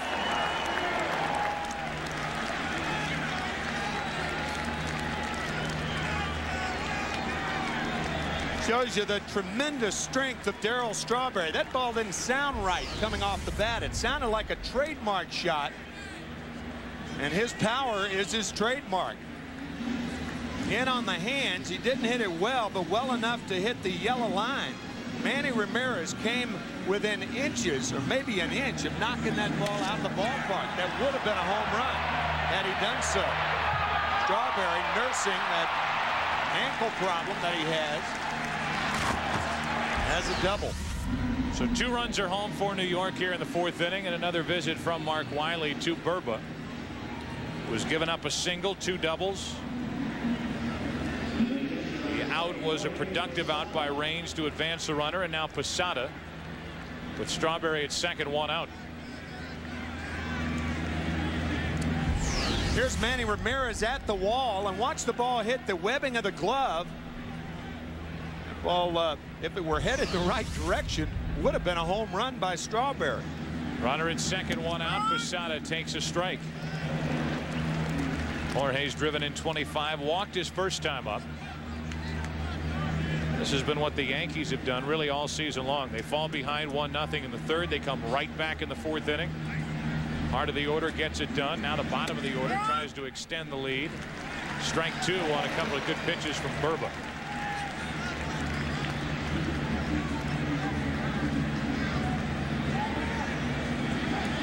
Posada backed up at 0-2. Nicely played by Alomar on a 58-footer, one and two. Well, that was a terrific play by Sandy Alomar. And think of the difficulty of that position when you're 6'5". Got to uncoil everything. Ball in front of the plate. That's the way the guide says to block balls right there. Don't use the glove. Use your protector. One and two on Posada. Struck him out. Jorge out in front, and that strikeout number three for Burba, a big one. With Curtis coming to the plate, two out now. Interesting sequence also against Posada. The first pitch, a breaking ball in there, and then a fastball on the outside part of the plate. The Alomar block, that was a splitter, and it looked like another splitter to get Posada. Did I say splatter or splitter? Splitter. Splitter across the platter, right? Runner at second, two out. Curtis strike one. Chad bounced out to third with two on back in the second. Yankees lead it two to one in the fourth. Curtis is driven in 29. There are evidently contract talks going on between Curtis and the Yankees. Reportedly, the Yankees are going to lock up Curtis for the next few years in the dirt one ball one strike. Curtis seems to be a good fit on this Yankee team. I'm not so sure he's worth as much elsewhere and he's been elsewhere before but on this Yankee team he fits in well with what Joe Torre has going on with his club. Much more than he would fit in as a starter perhaps with the Angels and Detroit. He's already tried that unsuccessful but with the Yankees in filling in and starting maybe 90 games a year, 100 games a year, you get from 350 to 400 at bats. Nowadays, having four or five outfielders, you can have uh, four outfielders and maybe a DH that are all regulars. That's why when Curtis says I could probably get more on the open market, I'm not so sure. I think he's in a good fit. I'm sure he knows that. Value being more to the Yankees than any other team. Burba takes care of Curtis, and the Yankees get two. Two runs on three hits. Darryl Strawberry knocks in the go-ahead run with a double high off the wall in right on this swing, and the Yankees lead by one.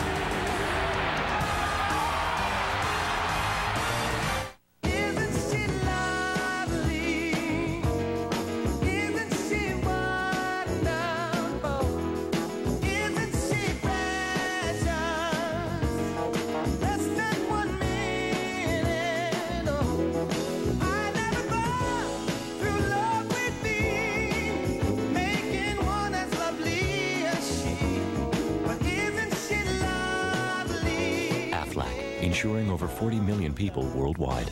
One day, science will create a pill for men's hair loss. That day is today. Introducing Propecia, the first pill for men with certain types of hair loss. In clinical studies, the vast majority of men, 83%, maintained their hair count, and most, 66%, regrew some hair. You may need to take it daily for three months or more to see results. Propecia is for men only. A small number of men experience certain sexual side effects. Each occurred in less than 2% of men. Women who are may potentially be pregnant must not use it or handle broken tablets because of the risk of a specific kind of birth defect. Talk to your doctor or pharmacist and read the consumer information they can provide. It may look like just another pill, but for men who want to treat hair loss, it's a beautiful thing to behold. Propecia, helping make hair loss history. Get ready to get creative.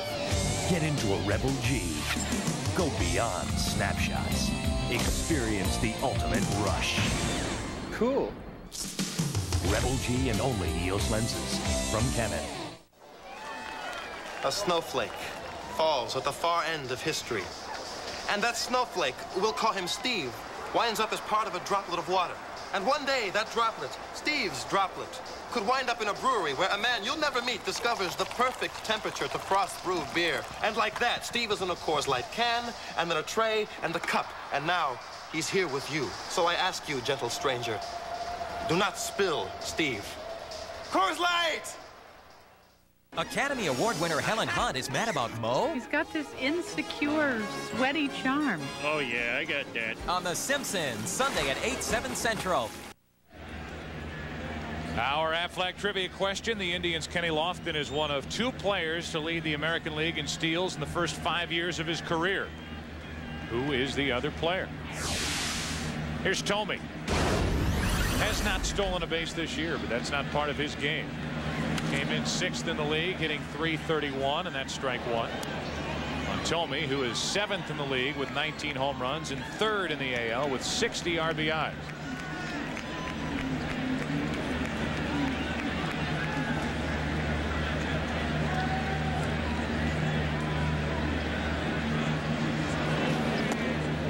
One ball, one strike. David Wells, I'm sure, happy to have that third inning mess behind him. Two errors behind him in that inning. One stolen base by Fryman that paid off. Check swing double. An infield single by Vizquel. There's good heat. 92 miles an hour from Wells. Strike two. Well, he has been the main man for the Indians this season. The Indians 10 games over 500. With those doubles, he has hit 28 on the season, first in the league.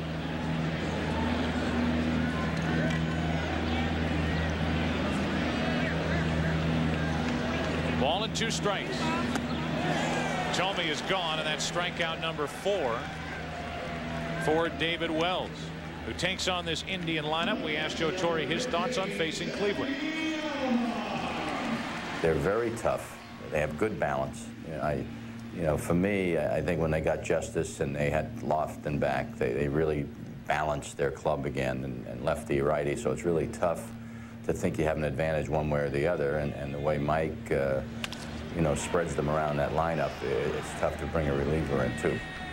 Well, the right-handed hitting Sandy Alomar Jr. lines to short right at Jeter. Two up, two down for the Indians in the fourth. That's an interesting point made by Joe Torre. And John Hart has been the guy who has continued to balance this Indian team. That lineup becomes unbalanced. You remember the trade. Lofton going to Atlanta along with Michael Tucker.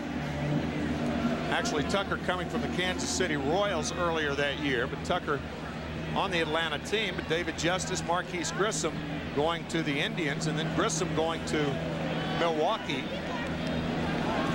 He went out and got Lofton again. Lofton signing a three-year contract with the Indians.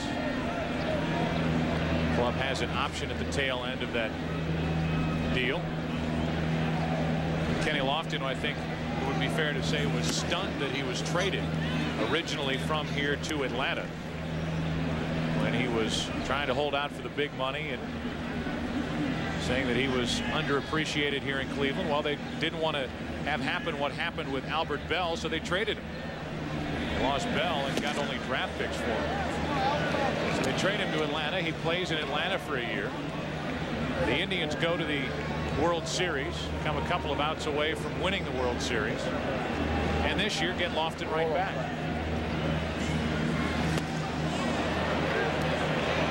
Two balls, two strikes now on Justice. It takes a couple of trades or sometimes just one trade to realize that it's not appreciation that was the problem. It's money.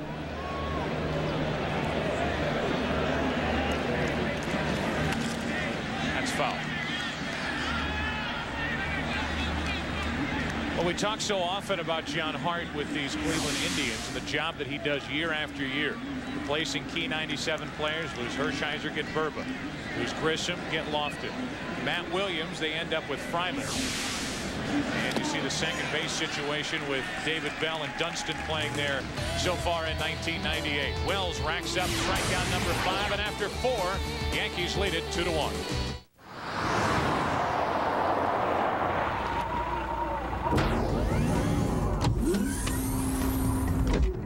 road. Validating tires. BF Goodrich. Approved. What kind of road can you drive on with BF Goodrich tires? Enjoy. Any road you choose. BF Goodrich tires. Take control. Evening, everyone. Well, thanks to MCI, our customers can place orders and check on shipments through the internet 24 hours a day. So the office is always working, even when all of you aren't. In fact, I suspect the only person here now is Mona. Here's something to get you through your night. Mona Lisa, Mona Lisa, men have named you. You're so like the lady with the mist. You remember that? That foul ball. yeah, you were 12, a hot dog in each hand. I reached up and snatched that ball right out of the sky. But this time the hot dogs are on me.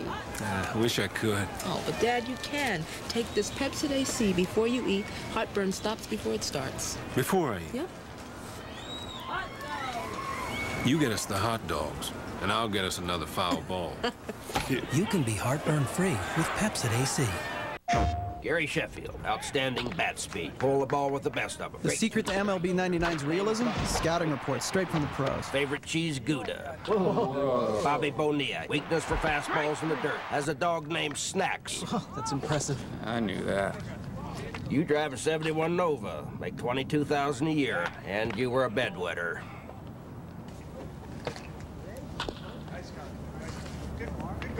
Hey, better. PlayStation. Five-time All-Star Steve Sax joins the Fox Sports News team. I'm ready to play. Get baseball from every angle. Fox Sports News, weeknights. Check local listings. Yankees come to bat in the fifth inning. Our Aflac trivia question. The Indians' Kenny Lofton is one of two players to lead the AL in steals the first five years of his career. Who is the other player? Luis Aparicio is my guess. Oh, bingo. It was a guess, too. That is our Aflac trivia answer. I would have said, it would have been wrong, Henderson. Oh, Rickey Henderson. That would have been, that would have been a better guess. One ball, no strikes. And now 2-0 on Brosius to start the fifth inning. The reason I followed uh, Luis Aparicio's career with a great deal of interest, the year before he came to the big leagues, he played at Memphis. In 1953, and as 19 years old, I used to sell peanuts and popcorn at the ballpark. Made a half a cent a bag, brother. 12 years old. Luis Aparicio could flat play. I mean, could he ever play shortstop? Three balls and a strike now on Brosius. How far you've come. Yeah. Well, with inflation, it's not much more than a half a cent a bag. Three balls and a strike, and that's crushed into deep left center field at the track wall. Gone. Brosius hits number seven. And the Yankees take a 3 to 1 fifth inning lead. Into the peanut gallery. What a job this guy has done. 47 RBIs for Scott Brosius, hitting seventh, eighth, and ninth all year. That's more RBIs than any other major leaguer hitting in the bottom third of the order. And chooses a Dave Burba fastball it appeared could have been a hanging slider. But Scott gets all of it into the peanut gallery. Half a cent a bag. Half a cent a bag in Memphis they end up naming the stadium after you eventually. Here it is from catcher camp. Comes in and it leaves in a blink. Ouch and there wasn't much doubt about that as Burba who started off strong had the back-to-back -back walks in the second had a rough fourth inning Fell behind Brosius 3 and 1 and paid the price. Now block comes up empty 1 and 1. So with that home run hit by Scott Brosius, another $35,000 been raised to support prostate cancer research and the total raised today $105,000. Last 35 compliments of Scott Brosius. Two balls and a strike now on Knoblauch. Joe, we're not even at the halfway point right now, and Scott Brosius uh, could easily, if he continues at this pace, get 100 RBIs. I mean, how many, how many American League teams have ever had a guy hit ninth primarily and uh, end up with 100 ribbies? Two balls, two strikes. Scott had only 41 all year with the Oakland Athletics last year. Well, last year was just a bad year for yep, him. Yep. Hit 300 uh, two years ago. Last year was just a debacle. What a bargain the Yankees got out of it, but they had to give away Kenny Rogers, who's Block pops it up to the right side. That's out of play. Still two and two. Talk about a trade helping both clubs. Rogers couldn't pitch in in New York, but he can in Oakland. Having a terrific year, and so is Brosius. One big part of that deal, the Yankees are paying Kenny Rogers' salary. Oakland ain't kicking in a cent. and he got Kenny Rogers, who was their best by a mile. Not kicking in a half a cent. A half a cent. so old Peanut Boy got the ballpark named after him in Memphis. That's great. Three balls, two strikes on Knoblauch.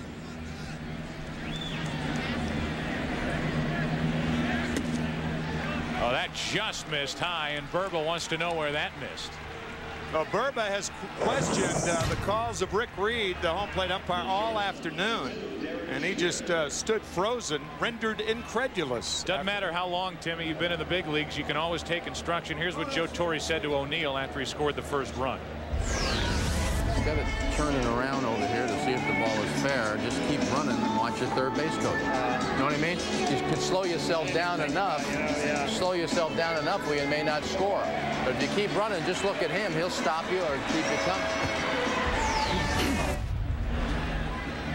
There's Jeter trying to bunt his way on. That's strike one. With a man on, nobody out after a walk to Knoblauch. With Joe Torre uh, talking to Paul like that, uh, one would think that Paul may have uh, run through a sign. Maybe Willie Randolph. I didn't pick that up when Paul was rounding third, but he could have uh, run right through the sign. We did say, however, that Willie Randolph had to make sure with nobody out. I don't know what's more disturbing about that soundbite, the fact that O'Neill's been in the big league since 85 and was told that by Joe Torre or the Hanson music in the background. Bases man on at first with nobody out and strike two on Jeter. How about those little Hanson guys, huh? Oh, Rock and Roll Hall of Fame this weekend's featuring John Fogerty, the center fielder. Center field. Nothing in two on Derek Jeter.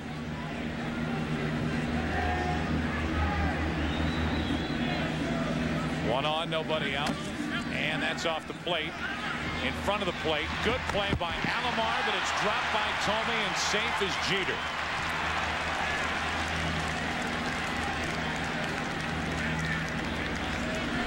Thome had to contend with a runner. Jeter pulled out of there a little quick, and the ball just trickled out of his glove.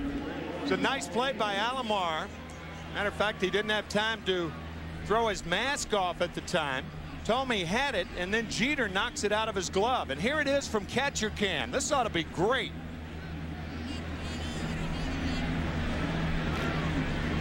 Come down, ball.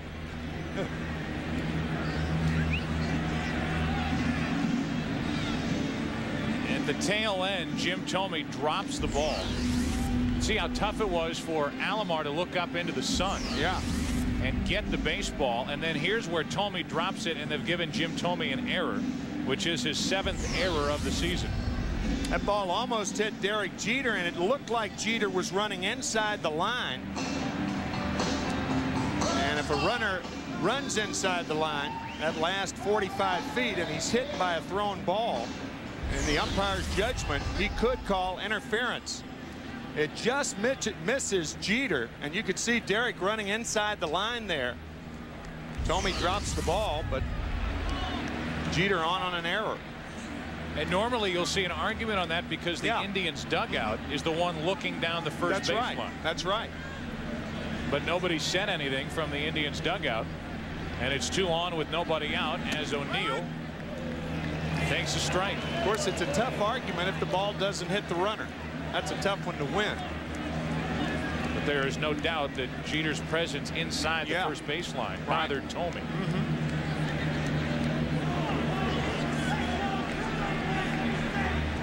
So with two on, nobody out, the 0-1 is low to O'Neill. It's a three to one game, but two on, nobody out. And the Yankees looking for that key hit, which seemingly all year they've been getting and been getting from a different guy every night. O'Neill has driven in 49.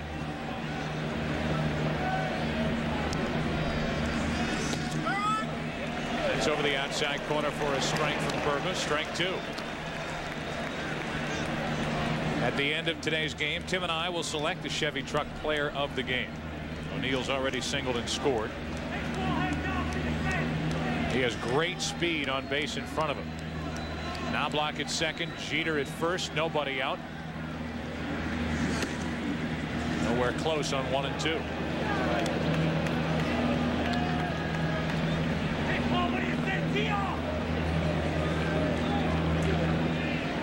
No action at the moment for the Indians in their bullpen, in case you're wondering. Burba coming off a no decision, had won five straight starts. 2-2 pitch through the right side for a hit. They will bring Knoblauch to the plate. Ramirez's throw cut off, and it's first and third, still nobody out, and now four to one Yankees here in the fifth. O'Neill gets RBI number 50. The first baseman, number 24, Tino Martinez. Again, to talk about the importance of Brosius, here's Paul O'Neill at the half century mark in RBIs, and Scott Brosius has three fewer. 50 RBIs for Paul O'Neill. Well, what a clutch hitter he has been for the Yankees. He is a different ball player in the American League than he was in the National League with Cincinnati. Here's Tino Martinez first and third nobody out and Martinez takes a pitch just high. Burba has not been getting the bell tie pitch from the home plate umpire Rick Reed. Jeter at third. O'Neill at first. That's crushed but hooking foul down the right field line.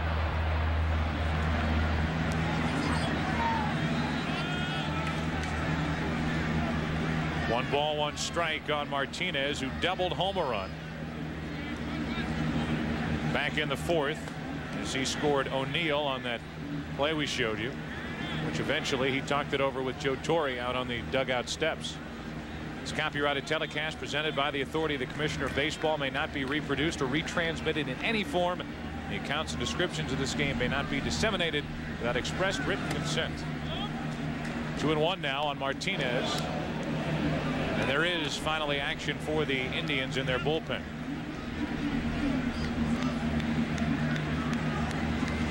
Ron Villone, the left-hander, cranks it up. Martinez out in front, two and two.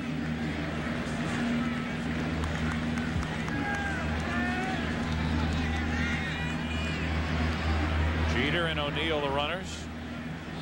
Jeter on on an error. First error of the afternoon for Cleveland. Yankees committed two in the third.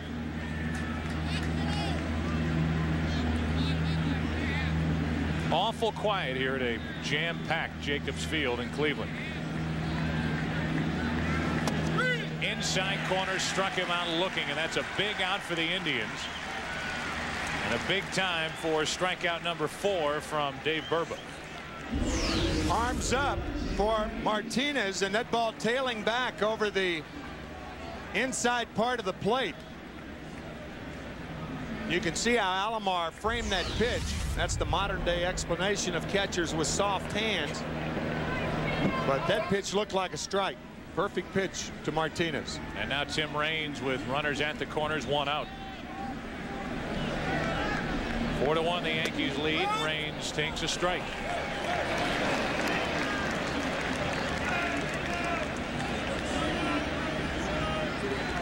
Raines is driven in 21. The 100 pit pitch of the afternoon is coming from Burba on this 0-1 delivery to Raines. It's been a long four and a third innings.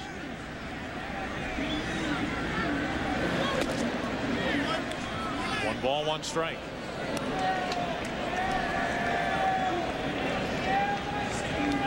Strawberry next, a left-hander in the bullpen. This is a big hitter for Burba.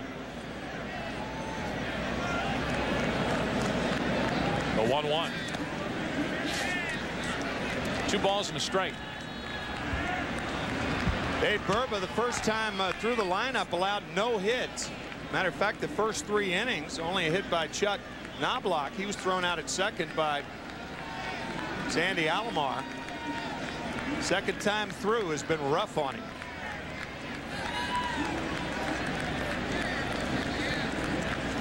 Two balls and a strike, now 2-2. Which reminds me of the old uh, Chuck Tanner theory about having a starting rotation that works three innings, three innings, and three innings every game. The manager loads a lineup with left-handers, have the second guy coming in, start your right-hander, have the second guy coming in a left-hander. Makes a lot of sense. Very novel managing technique. You know who else talks about that is Whitey Herzog. Yeah. He has a lot of ideas that he says right as he was making the decision whether to stay or go with the Cardinals. Before Joe Torre took over in St. Louis, he was going to try, and if he gets another chance, he would try some of those three, theories. three, and three type theory. That would yep. be one of them. Uh-huh. Two balls, two strikes on Raines. Inside corner again. Back-to-back -back strikeouts for Burba. And Raines didn't like it.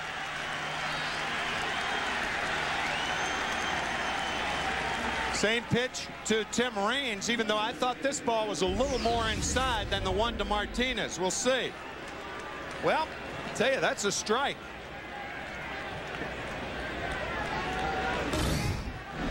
Take you through the pitch by pitch. The breaking ball misses, and then the fastball misses. Breaking ball in the dirt. Then Tim fouls it off, fouls another one, and he's right for that fastball on the corner. Now Strawberry takes a ball up and away. So with the back-to-back -back strikeouts of Martinez, Raines hitting left-handed. Now Strawberry. Burba has been able to stay in there. Strawberry takes inside. It's 2 0.